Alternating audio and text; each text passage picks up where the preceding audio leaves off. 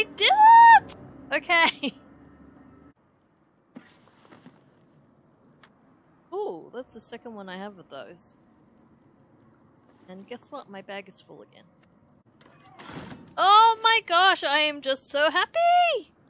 Kind of calm myself down. I just want to give you a couple of tips for the players who are still having trouble with this last arcane pylon. So the things that I learned along the way was basically to definitely learn the pattern and not to panic when they do start to speed up. I think that was my main problem when I was trying to do this earlier.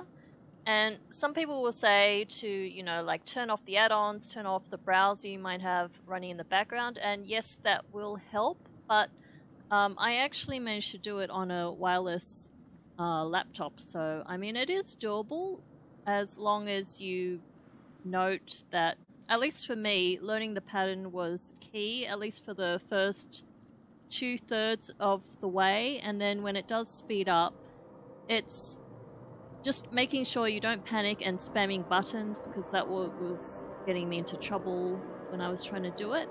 And I know on Wowhead someone has actually written down the sequence, which might help you. Uh, you will find that when they do speed up and you have two coming from the same direction, that you can just hit it once and it will hit both of the little swirlies as you might have noticed in my video.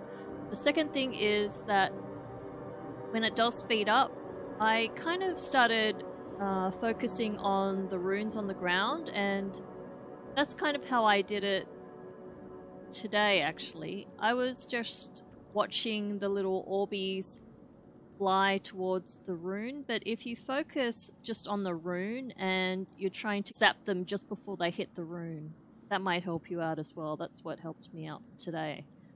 Um, yeah, so hopefully that helps. And I'm just so glad that I've got this one out of the way now. So as usual, thanks for watching and I'll see you for the next video.